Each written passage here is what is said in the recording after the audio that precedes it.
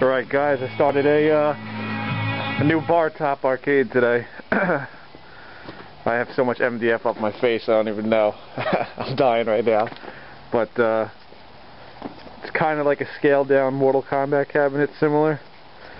I left this spot open because it's going to have a removable control panel.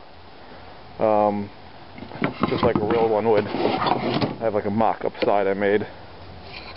Just going to, you know, basically sit on there like that and the whole thing will be able to come off and on with all the buttons in the I-PAC. Um, came out really good so far, both of them.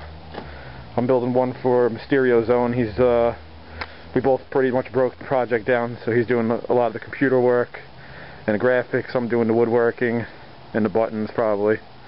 Um, it's very good, good to work with someone. Uh, routed the T-molding on both of them. It came out perfect. They're basically as identical as you could get for all the cabinets I made so far. It came out really good. When you have like one, maybe one imperfection spot, possibly you're not going to notice it once it's together. Um, that's it. It's the first uh, part one of the cabinet build.